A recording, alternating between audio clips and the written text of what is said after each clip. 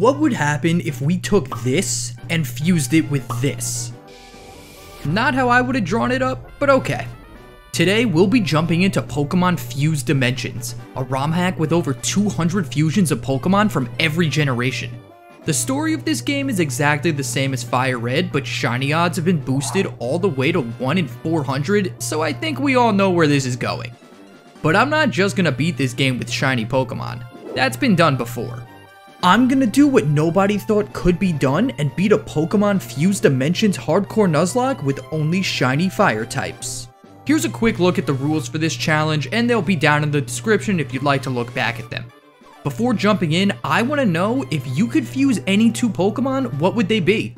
I can't wait to see all the cool combos you guys come up with in the comments. Also, if you enjoyed the video, I'd really appreciate it if you smash that like button and feel free to subscribe if you want to see more. With all that said, let's get into it. I named myself Blaze and my rival Torrent to really get into the spirit of things. Once it's time to get our starter, we're obviously going with Raltmander, which is actually a fusion of my two favorite types, Fire and Psychic. I'm not going to be nicknaming our starter because I have to shiny hunt it, but I actually get the shiny on my 5th reset, so that took no time at all. Not only that, but he's also modest, which is awesome. Now we have to fight Torrent and his Squirron, which is a water steel type, so we don't stand much of a chance here. Good thing a Nuzlocke doesn't start until you get Pokeballs. We can get our first encounter on Route 22, so it's time for a hunt. We'll be looking for Fennerin, the Fennekin Nidoran female fusion, which is a fire poison type. In the 10 minutes it took to find a shiny, I actually ran into the shiny form of every other Pokemon on the route, so I figured I'd show them off too. My favorite of the bunch is probably Electrand with that blue and black color scheme. Anyway, we eventually run into Shiny Fennerin and after securing the catch, I name him Chemist. He's the only fire type we can get before Pewter City, so we'll be taking Brock on with this squad of two. He opens with Lit Dude, which is the greatest name of all time. I can't wait to add one to our team. Raltmander is able to take the Fire Rock down with two confusions while all it does is use Defense Curl. Next is Geodude, who we Ember for around 60% as it hits back hard with Rollout. We managed to take it out with another, but we only have about half our health left for Brock's Ace Solonix. We actually land our first Hypnosis and the Psychic Rock stays asleep through 3 Drain Kisses, giving us the win. I was fully expecting my starter to evolve at 16, but sadly that won't be happening until 18. Thanks, Ralts. Oh, by the way, any trainer's Pokemon also have a 1 in 400 chance of being shiny, so after Chemist KOs this shiny Weebra, he evolves into Breakzina. Now we make it to Mount Moon and can catch a lit dude of our own. He has the same color scheme as our Raltmander, which is a cool light blue and yellow. I have the perfect name for this guy. I mean, what else can you call a lit dude? After we beat the last trainer in Mount Moon, Raltmander hits 18 and evolves into Charmeleon. Honestly, as much as I love the typing, I wish this fusion line looked cooler. Outside of Cerulean City, I grind the team up on some wild Kabukate and at level 18 decide to take on Torrent. His lead is a Herdier Clefairy fusion with Intimidate, so pretty tough to deal with. After Chemist hits a Psybeam, the normal Fairy type uses Workup, but its boosted tackle only does 12 damage. A third Psybeam KOs our rival's lead, and next up is Psytata, who's part water. Psybeam does over half its health, but a crit Water Pulse brings Chemist down to 16 HP. Since we outspeed, we're able to KO the fusion with one more Psybeam, and Torrent sends out his Squirron. My only chance of beating this thing without losing a Mon is to bring Charmeleon in who gets hit by Water Pulse for exactly half his HP and he also gets confused. All I can do is click Hypnosis and as we break through Confusion, the 60% accurate move connects. We snap out next turn and start firing Psybeams off into the Water Steel type. Our second one confuses him, and after a crit, one last Psybeam from Charmeleon finishes Torrent's starter before it can even wake up. Last is Cactabra who survives Fire Fang with a few hit points but after a flinch we clean this battle up with a Drain Kiss. We make our way through Nugget Bridge and get to Bill's house and he's still just a Clefairy? If there are regular Pokemon in this game then who's creating these fusions? I was under the impression that they were all naturally occurring, but I guess not. Let's not think too hard on it. Time for Misty. By the way, I'm showing off an older version of this game from my playthrough, so if you've seen a more recent video of Fused Dimensions, you might notice some differences. Misty leads Dwebdur, which is part bug, so it doesn't resist Fire Fang. What I didn't factor in was that both Dwebble and Shellder have great defense. Water Gun doesn't do too much, and then I switch to the special attack Psybeam, which gets the first KO. Her ace Farracuda is a fighting water type, so after Aqua Jet, I Drain Kiss, but the bird lives on one. Misty's Super Potion just isn't enough to bring it back to full health as our next fairy move drops the bird and gets us badge number 2. That fight was a lot easier than I was expecting. Between here and the SS Anne, nothing of note happens, so let's see how our next fight with Torrent goes. His Her Fairy is shiny this time around, and after bulk up, it does manage to hit Chemist with the super effective stored power for decent damage. We still take the Fairy Dog down with 3 Psybeams and Cactabra comes in. A crit Flame Charge one-shots the Psychic Bug and gives Chemist a nice little speed boost. We're also able to take Psytata down the same way as last time, so we're in pretty good shape for the now evolved Wartron. I swap Charmeleon in, whose special defense is now high enough to make Water Pulse a 3-shot. We managed to land our first Hypnosis again, which is huge. I bring in Party Animal since he has the super effective Dig, which does around 40%. Next turn, Wartron fires off a 4 times effective Water Pulse, but Sturdy has current game properties, so Lit Dude can always take one hit from full. Even though he got confused, our Rocky Boy manages to connect Dig and bring Torrent's last Pokemon into the red. Now it just takes a swap to Charmeleon who eats Rapid Spin and finishes this thing off with a Psybeam. I don't know if I can keep getting sleep luck in these rival battles though. We rub the captain for the cut HM and move on to take down Surge. His lead is the fighting electric type Tim Kid, so Charmeleon is able to one-tap it with Psybeam. Next is the shiny Manacrino, but the poison type dies to the same. Rylossom is next, so I Fire Fang the grass type for 40% and get a burn. Now I swap to Break Xena as Surge uses a full heal. We outspeed and a single flame charge picks up this knockout, leaving the lieutenant with only his ace Ryplume. Thanks to that flame charge, we outspeed the poison type and get a critical hit Psybeam to do around 70% of its health. Thunder Punch hits us for 33 HP, but one more Psybeam drops the second Raichu fusion, so that's badge number 3. Next, we backtrack through Cerulean to the dreaded Rock Tunnel. It's funny, I've been playing Fire Red since it came out, and I still haven't memorized how to get through here. Eventually I find the exit, and in Lavender Town I can finally give our starter a nickname, Sci-Fi. You get it? Like science fiction, but he's also a psychic fire type. Yeah, I'll stop talking. On Route 8, we can add another member to the squad, and there are actually two fire types here, Volpua and Laranat. We end up with Shiny Laranat, who's a fusion of Larvesta and Venonat. I really don't feel like grinding right now, so I'll get him up to speed later. Maybe. In Celadon City, I go to the roof of the apartment complex to get what I was anticipating to be an Yveltal, which is an Eevee Rotom fusion, but it's actually Medinja, the Alolan Marowak Shedinja combo. This Pokemon is about to haunt me. My last save is somewhere in Rock Tunnel, and I am not resetting to there. I decide to accept that this one isn't shiny because I can catch a Cubecata in Lavender Tower later and get Medinja when it evolves. Good plan, right? We'll get back to that. For now, it's time to battle Erica. She leads Lilytails, whose Stun Spores turn 1, and gets a full power on Chemist. Next turn, after a 4 times resisted Magical Leaf, we Flame Charge, which just comes up short of a kill. I guess we low rolled since after Erica's Hyper Potion, another Flame Charge takes the Fox down. Doug turn hits the field, but I'm not nervous as we just use another Flame Charge for a knockout. Last is Jinzakat, who also uses a 4 times resisted move, but we get paralyzed. Next turn, Charm means Flame Charge won't do too much damage, so after connecting, I bring Sci-Fi into a Giga Drain. We get outsped and sunk to sleep, then a crit Giga Drain brings us fairly low. Good news for us is that Charmeleon wakes up and fires off Flamethrower for the win. No way we were about to lose to the Grass Gym. Before going into Rocket Hideout, I backtrack to Rock Tunnel to catch a few more lit dudes because they have a 20% chance of holding a link cable, which we'll need later on. With that out of the way, we blow through the grunts and it's time to take on Giovanni. He leads with a Dignia who ingrains and survives Ember from Lit Dude. After a weak Needle Arm, the Cactus Mole goes down to a second Ember. Next is Marijask, and I decide to start stacking Rollout. The third hit kills the ground bug as it hit a few not very effective headbutts and a Fury Cutter. Last is Metshrew, who hits a takedown for 10 damage and misses its next as our last two rollouts bring it below 50%. After a second miss, we use a super effective Ember to beat the crime boss. Love a nice party animal solo. Now that we have the Silph Scope, we can return to Lavender Tower and battle our rival. We take her fairy and Cactabra out the same way as usual, and then Torrent sends in his newly evolved Goldcate. Chemist sets up Light Screen, and after a Water Pulse ends up getting confused, so I swap to Sci-Fi who eats Zen Headbutt. After Drain Kiss brings us back to full health, we're hit with Assurance for good damage.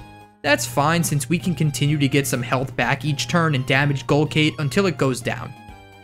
Believe it or not, when Wartron comes in, we land another Hypnosis and then take the starter down with a critical hit neutral flamethrower. Torrent also has a Volpua now, but it just takes two Drain Kisses to get the kill and that's it for this battle. We use the Silph Scope to see the ghost blocking the staircase and it actually ends up being a Surskeuta. The bird goes for dive as I have Charmeleon set up Reflect on turn 1. After surviving with 12 HP, we Drain Kiss the fighting type for half its health. We can't live another attack, so I swap into Chemist who takes the next dive and brings Surskeuta down to a few hit points with Psybeam. Now I have to swap to Lit Dude, and good thing he's got Sturdy because Dive is 4 times effective on him. With just 1 HP left, Party Animal connects a Rock Tomb to take the bird down. That was a full team effort. As a nice surprise, while doing some grinding, Charmeleon hit level 33 and evolved into its final form, Garderzard. After about 30 minutes of hunting, which is a lot for this game, I finally catch a shiny Cubecata so I can get the shiny Medinja. Then Mr. Fuji brings me back to his house where he gives me the Poke Flute and the Mega Ring.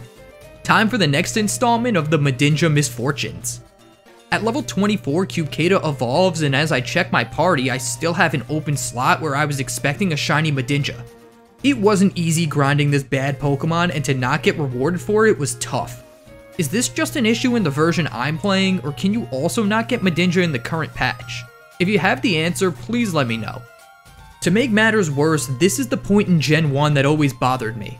The level cap jumps to 43, so now I need to do an incredible amount of grinding before taking on my rival in Silph Co.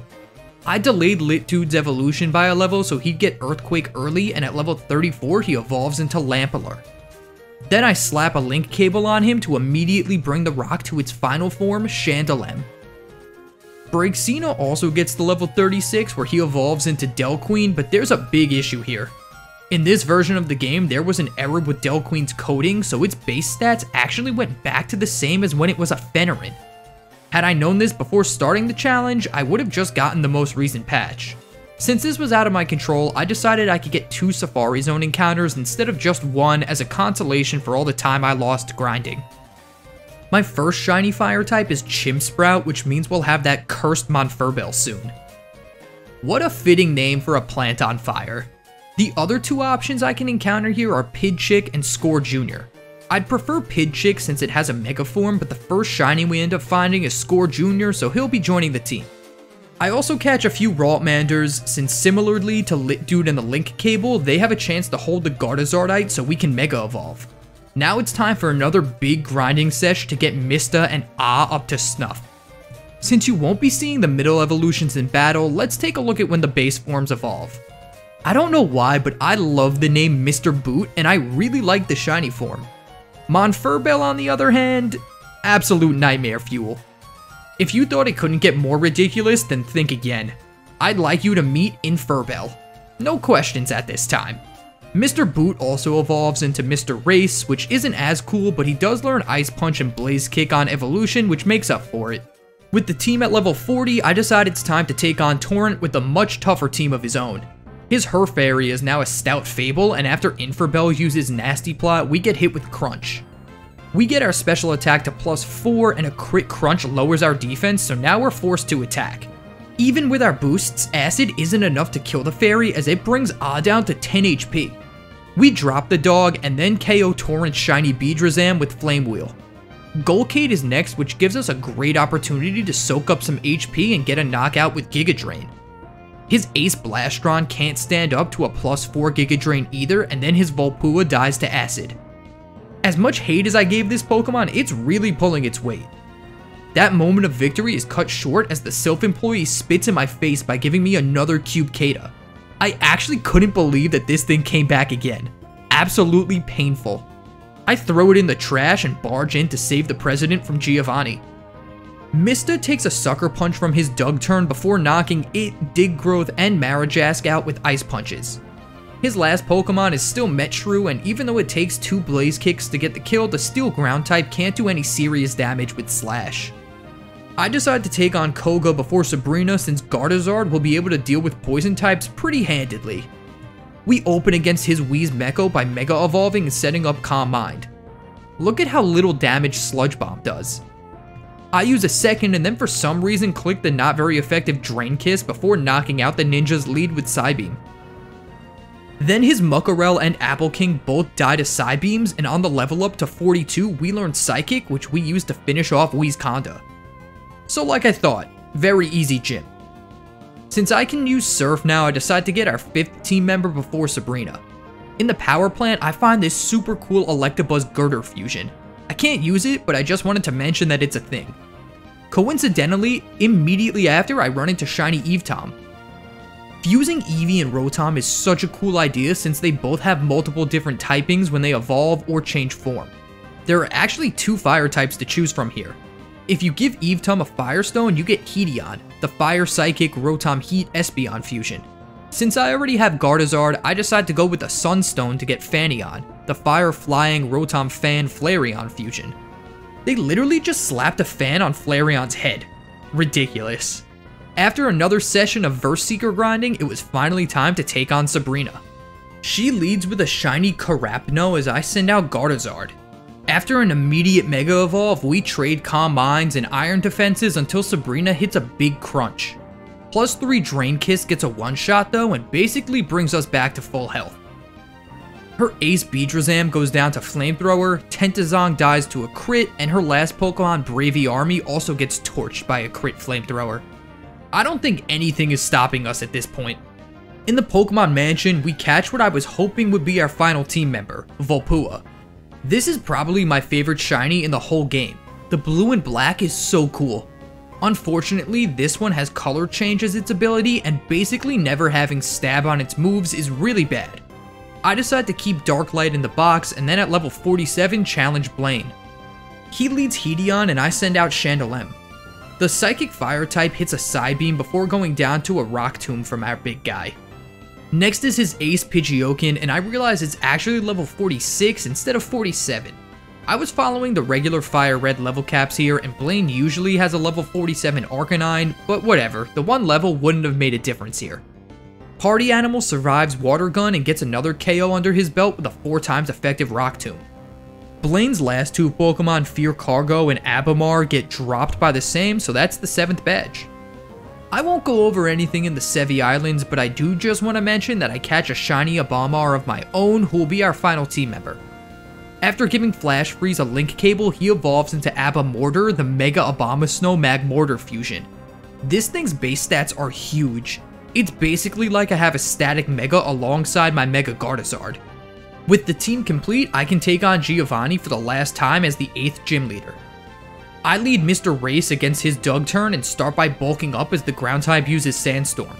I set up two more times before getting hit by Dig, which coupled with sand damage brings Mista into the yellow.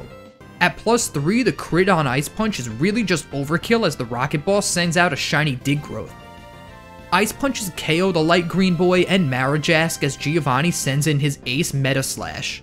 A plus 3 Blaze Kick destroys this thing, but Wistar 4 times resists all my moves, so I swap into Inferbell who eats an EQ and picks up the win with Leaf Blade. With all 8 badges, we can head to the Pokemon League, but not before our battle with Torrent on Route 22. A matchup we're already familiar with, it's Stout Fable vs Inferbell. After two nasty plots and tanking two takedowns, I kill with Giga Drain to get back to over 100 health. Beedrazam's Poison Jab doesn't do too much damage, but unfortunately we do end up poisoned from it. After the bug goes down to Flamethrower, Torrent sends in a Crocodon, which is a Croconaw Rhydon fusion. A 4 times effective Giga Drain drops the Water Rock type and gives us some much needed healing for Blastron. Giga Drain isn't enough to KO the starter, but we do get the recovery necessary to survive Hydro Pump and poison damage. Another Giga Drain takes the armored turtle down, and with 6 HP left, I finally swap out to Chandelem. Rock Tomb takes the Prevo down, and then our rival's last Pokemon, Jinzakat, hits an Energy Ball and gets dropped by Flamethrower. After making quick work of Victory Road, we finally arrive at the league. Here's a look at the final team before we enter. I didn't want to get everyone to the same level as the Champions Ace since that would make things too easy, so I settled on 58, which is the third member's highest. With that said, let's take on Lorelei.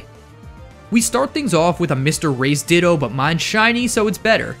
We bulk up turn 1 as Lorelei misses Blaze Kick. Next turn, Brick Break isn't strong enough to get the kill, and we get confused by Teeter Dance. Since I don't want to hit myself at plus 1 attack, I decide to bring in Chandelem who eats Blaze Kick. Psychic doesn't do much either and we take the lead down with an Earthquake. Sable Slash is next but we outspeed for a critical hit Stone Edge which drops the Ice Ghost type. Her next Pokemon is Snortic which could be a problem but Party Animal gets another crit to KO, this time with an Overheat. Frost King is next which I think has a really cool sprite. Anyway, Earthquake doesn't do much and after a Psychic hits pretty hard, I decide to swap into Gardevoir who's met by Hail. After Mega Evolving, I go for Drain Kiss, but the Psychic Ice Fusion just hangs on. It hits a not very effective Psychic, and knowing Lorelei is gonna heal, I use Calm Mind. Next turn I set up again, and now Psychic only does 10 damage. At plus 2, I decimate the penultimate Pokemon with Flamethrower, and then her ace Glabro comes in. This Water Ice Mega Evolution is absolutely terrifying, but my calm minds end up paying off as a single Flamethrower gets the kill and our first Elite Four victory. Bruno is next and his lead is Brelsect against Sci-Fi. I immediately Mega Evolve and Calm Mind as we're hit with a non-crit slash. Turn 2 goes the same way and then we obliterate Bruno's lead with Flamethrower. Shiny Araminable is next up, and as cool as this Pokemon is, it can't stand up to a plus 2 critical hit Flamethrower. Lycanchan and Bold Choke go down to a Drain Kiss and a Psychic, which leaves Bruno with his ace, the other Charizard fusion Galazard, and his is also shiny. He Mega Evolves, and I have to say the red flames and accents are super cool, but since this version is a fighting type, it doesn't stand a chance against my plus 2 Psychic. Two members down, three to go. Now it's time to face off against Agatha and her ghost types. First up is Duskull 2, which is probably the bulkiest creation of all time. I Sunny Day with Short Circuit as the normal ghost uses Curse. Now I swap to Flash Freeze, completely forgetting it has Snow Warning, so there goes my sun. And Shadow Ball gets the Spadef drop to make things worse. I Ice Punch and you can see how little damage we do as the Mummy recovers up to 75%. Flamethrower seems to do a bit more damage, but another Shadow Ball does half the health we have left, so I need to swap. I bring in Chandelem, but Shadow Ball gets the drop again. Too scared to stay in, I go to Mista, but another Recover could be trouble. I bulk up three times while being hit by a Shadow Ball, and then Agatha tries Will-O-Wisping my Fire type. Twice. I Blaze Kick, but even at plus 3, it's not enough for a kill, and of course we see another Recover from the Dusclops P2 fusion. After hail damage, another Blaze Kick finally gets the kill, and now we're in pretty good shape with a plus 3 mod on the field. Or we would be if Medinja didn't have Wonder Guard. This Pokemon really needed to mess with me one last time, didn't it? I go back to Party Animal here who soaks up a Thrash and then outspeeds for a Stone Edge kill. Now we're faced with Agatha's Ace Greninja, the Water Ghost type. I don't have a safe switch in, so as the Ninja Mega evolves, it's time to sack off Short Circuit. You didn't see much action, but your sacrifice is still appreciated. With that, I get a free swap to Infernbel who lands a crit Giga Drain through Greninja's double team for a one-shot. The evolved form of Duskull 2, Duskull Z, is next, but I'm not afraid. Oz sets up Nasty Plot as Shadow Ball hits for around half our health. Giga Drain brings the Mon to the red as Tri Attack does just a few more hit points than we healed. Hail can't bring this thing down, so Agatha gets to use a full restore as we Giga Drain again. After a second full restore, Infernbel crits a flamethrower to get the kill. Is it just me, or have we crit a lot so far in the Elite Four?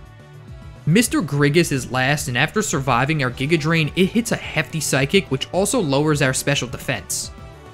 I swap to Mr. Race, who's brought to half the health he has left by Psychic. This is no problem though since Agatha is out of heals and we outspeed for an Ice Punch win. After finally losing our first Pokemon, I wonder if the last two battles will be harder. Let's see how Lance goes. The Dragon Master leads Huntutor, which is a grass dragon type with Intimidate. Pretty good. I Mega Evolve Gardevoir and Calm Mind as an Aqua Tail almost one-shots us. At plus 1, the super effective Drain Kiss is able to take the dragon down and bring us back to half health. Next, the Water Dragon Intolight also gets outsped and dropped by Drain Kiss. Crowbaria is a poison dragon, so instead of the neutral Drain Kiss, I'm able to take this fusion down with Psychic. Flap Pro has the same typing, so another Psychic gets the job done, leaving Lance with only his ace, the last starter Veniguard. And this one is shiny. It also Mega Evolves and we hit a Drain Kiss which does exactly 50%. Outrage fires back hard, but since we outspeed, we can Drain Kiss one last time for the knockout. Gardezard is really proving to be an Elite 4 killer. I think if I wanted to, I could have soloed with it. With the four members down, the only thing standing between us and the Hall of Fame is Torrent, and we know how things start here. I get three nasty plots off as Stout Fable Cosmic Powers twice and hits a takedown for about half our health. Acid only does around 50%, and after another Cosmic Power, I switch to Giga Drain, which crits for the kill and heals back some HP. Beedrazam is next, who only gets off a Future Sight before being KO'd by a plus 6 Flamethrower. Next is the Water Rock Feralier, so we have no trouble taking it down with a single Giga Drain, also getting us back to full health. His Ace Blastron Mega Evolves, but my luck hasn't run dry as we get another crit with Flamethrower to one-shot the starter. Now Ninetark comes in, and I'm not sure if Acid kills, but decide not to risk it, so I switch to Chandelem as the Fire Dark type Nasty Plots. That turn was wasted since Night Slash is physical, and then we destroy the Fox with Stone Edge. Last is Jinzaka, but Cotton Guard won't save her as I use the special overheat to knock it out and secure the victory. And there you have it. With only one death, we were able to beat a monotype hardcore Nuzlocke of Pokemon Fused Dimensions. The sprites in this game are seriously good, and if you haven't checked it out yet, I highly recommend playing. I know in the current version of the game, Sabrina, Blaine, and Giovanni's aces are all megas, but I honestly don't think it would have made a difference in our battles. I think fusion hacks are some of the coolest, and this one was even better because of the boosted shiny odds. If you enjoyed the video, be sure to smash that like button and subscribe if you want to see more. Also, let me know if you want me to play other fusion games. Thanks so much for watching, and I'll see you next time.